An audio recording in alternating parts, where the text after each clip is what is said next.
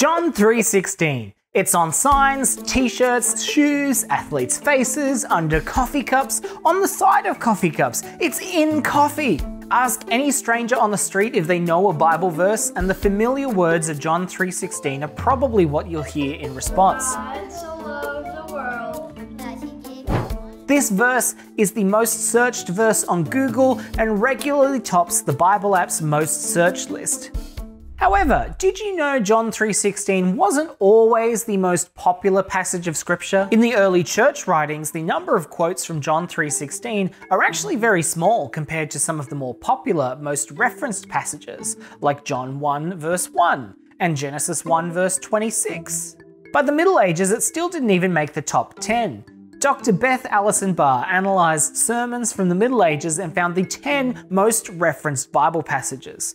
The most popular passages in this period of Christian history was actually Matthew 25, 34 to 41, where Jesus talks about the sheep and the goats, followed by John 8, 31 to 47, about hearing and obeying. John chapter 3 doesn't even feature, but in recent decades, John 3:16 has soared into the zeitgeist of popular culture, in part due to celebrity athletes such as footballer Tim Tebow, famously wearing the verse under his eyes. Tim shared a story that has become legend about the 2012 Denver Broncos versus Pittsburgh Steelers game. He recounts talking to his PR agent. He said, it's exactly three years later from the day that you wore John 3.16 under your eyes. I was like, oh, that's really cool. He said, no, I don't think you realize what happened. During the game, you threw for 316 yards. Your yards per rush were 3.16. Your yards per completion were 31.6. The ratings for the game were 31.6. And the time of possession was 31.6. And during the game, 90 million people had already Googled John 3.16 and it was the number one trending thing on Facebook and Twitter. Now, the story is cool and all, but it's a little exaggerated. Yes, he did pass 316 yards, and the team had 316 receiving yards, but his yards per rush were actually 5, not 3.16, and the team average was 3.9. The possession stat was actually 3106, I guess that's kind of close to 316, but that was for the other team. Denver's possession was 29 minutes, and the TV ratings were actually 25.9. It was reported that 31.6 was the final quarter hour peak. A coincidence or a sign, you'll have to be the judge of that one. Oh wow, look at this sandwich, $3.16. And there goes the number 316 bus. A parking fine, $316. I wonder if this is a sign. It is. Don't park in a school zone. So, when did this little Bible verse become the summary of the Christian message and the most popular verse of them all?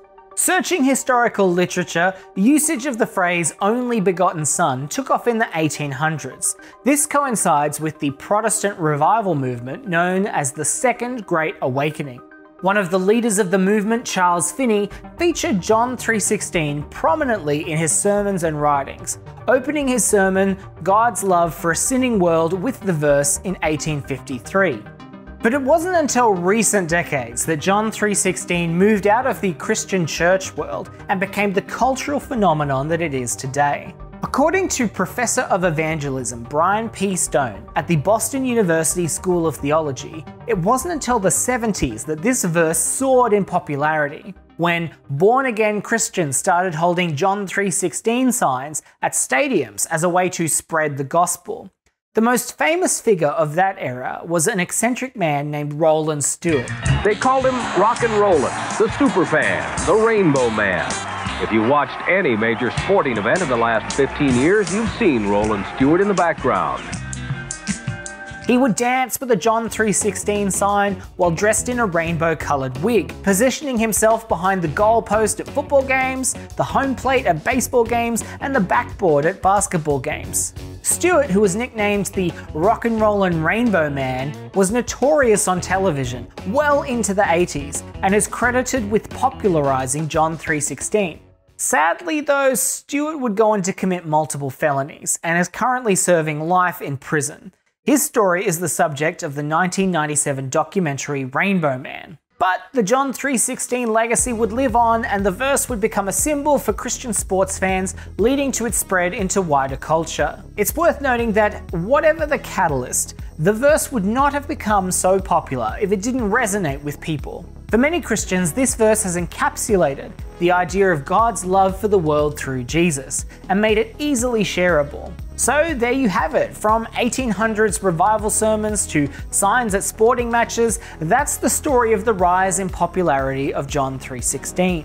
But while this verse still regularly tops most search lists, it's starting to get some stiff competition. In 2019, Jeremiah 29 verse 11 topped the most searched list on Bible Gateway. And in 2020, Isaiah 41:10 was the most read and bookmarked verse in the Bible app. So maybe John 3:16's days at the top are numbered. If you liked that video and learned something new, leave us a comment and let us know what you thought. Make sure you like the video, share it around, and subscribe to the channel. My name's Lachlan, you've been watching Bible Unboxed, and I'll see you in the next video.